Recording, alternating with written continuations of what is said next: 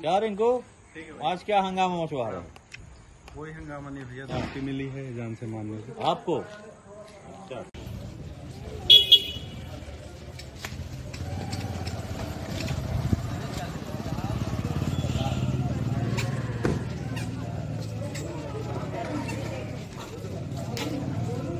थाना अंतर्गत मामला आया है जहाँ महज बच्ची को माँ ने मार डाला। क्या है सर पूरा मामला?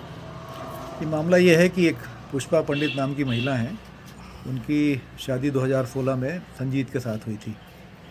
अभी इसके शादी के बाद उनके एक संतान थी, एक लड़का था, लगभग डेढ़ साल का।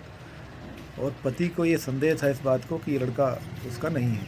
उसने अपनी पत्नी से कहा था कि मैं इस लड़के का डीएनए टेस्ट कराऊँगा। और पत्नी इसी बात से डरी हुई थी। दिनांक तीन और चार की मध्य रात्रि में जब पति घर में नहीं थे, बाहर छत्तीसगढ़ गए हुए थे तो इसने जो है मुँह दबा करके अपने बेटे की हत्या कर दी और शोर मचा दिया कि ये दूध नहीं पी रहा है, दूध नहीं पी रहा है, देखो देखो देखो देखो। इसके बाद उसके सास और ससुर घर में ही थे। ये लोग लेके अस्पताल आए और अस्पताल में उस बच्चे को जो है तुरंत घोषित किया गया। इस संबंध में थाना बिजली में धारा तीन सौ दो के तहत अपराध पंजीबद्ध किया गया है और उस छोटे से बच्चे की माँ पुष्पा को गिरफ़्तार किया गया